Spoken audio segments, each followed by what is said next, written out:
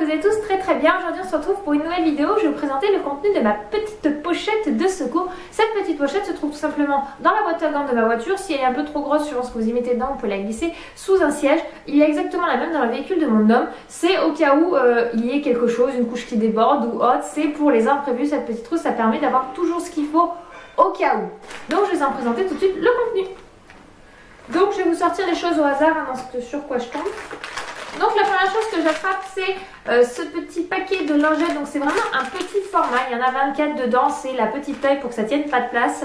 Euh, au cas où si bébé il se salit les mains, s'il fait un régurgit, s'il faut le changer, ça peut toujours servir. Ensuite, nous avons un petit bavoir. Donc j'ai mis un bavoir naissance, c'est volontaire parce qu'en tour de cou, ça lui va encore. Au niveau longueur, c'est pas très long, mais ça sert toujours au cas où s'il bave beaucoup, si je dois le faire goûter, qu'il m'a déjà pourri un bavoir ou autre. J'en ai toujours un de secours dans la voiture. Ensuite, et ça c'est un indispensable inconditionnel, il s'agit d'un linge. Donc, si vous voulez une vidéo spéciale sur le linge, parce qu'avec le linge, vous pouvez faire énormément de choses. Et avant euh, un certain temps que j'étais, euh, genre, ça faisait 6-7 mois que j'avais Eden, que je me rends compte de tout ce qu'on pouvait faire avec, ça pourrait être sympa de vous en faire une vidéo pour les jeunes mamans ou autres, pour savoir un petit peu qu'est-ce qu'on peut faire avec le linge. Dites-le moi en commentaire si ça vous intéresse, je vous la ferai avec grand plaisir. Ensuite, il y a tout ce qui est l'arnica. Non, l'arnigel, je parle pas français. Donc l'arnigel euh, en crème. Euh, enfin en crème, en pommade simplement pour mettre sur les bobos de bébé s'il se fait des bosses et sous forme d'homéopathie. Euh, pour pareil, quand il se fait des bosses, il faut lui en donner, je crois, 3 toutes les heures. Redemandez à votre pharmacien, mais il me semble que c'est ça que m'avait dit le mien. Donc ça permet de parer tout ce qui est bobo.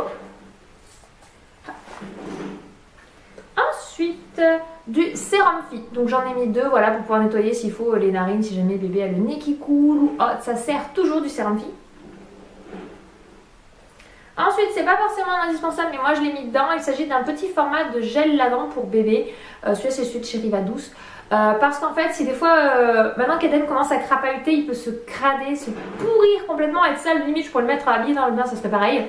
Euh, et des fois on est à l'extérieur et on, le soir on n'est pas chez nous et j'aime pas le mettre se coucher euh, parce qu'on se balade avec le parapluie mais on se balade pas forcément avec le truc pour le laver et c'est cradé par exemple la fin d'après-midi. Je peux le laver tranquillement avec son gel euh, chez quelqu'un, je prends une serviette, pas besoin d'avoir quelque chose d'adapté, j'ai mon gel pour le laver.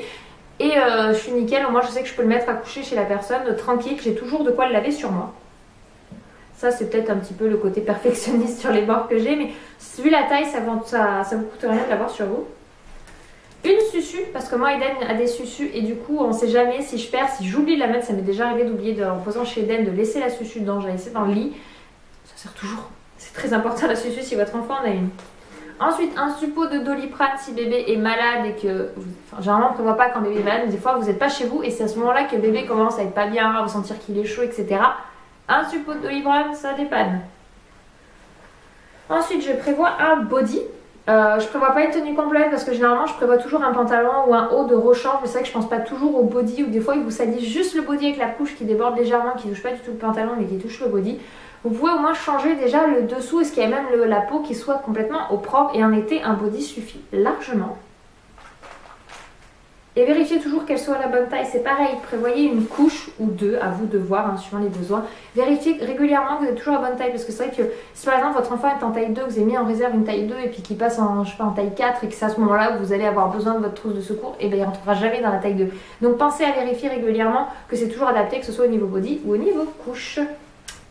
Et voilà, j'ai fait le tour de ce que je mettais dans mon pochon. N'hésitez pas à me dire en commentaire si cette vidéo vous a été utile, à me dire vous ce que vous avez prévu dans votre petite trou de secours. Peut-être qu'il y a des choses auxquelles je n'ai pas pensé et qui pourraient être utiles. Et puis voilà, la vidéo est terminée. J'espère qu'elle vous aura plu. N'hésitez pas à la liker si c'est le cas et à vous abonner si vous souhaitez voir d'autres vidéos que j'ai faites et être alerté tout simplement quand des vidéos sortent. Et puis je vous envoie tout plein de bisous. À très bientôt. Ciao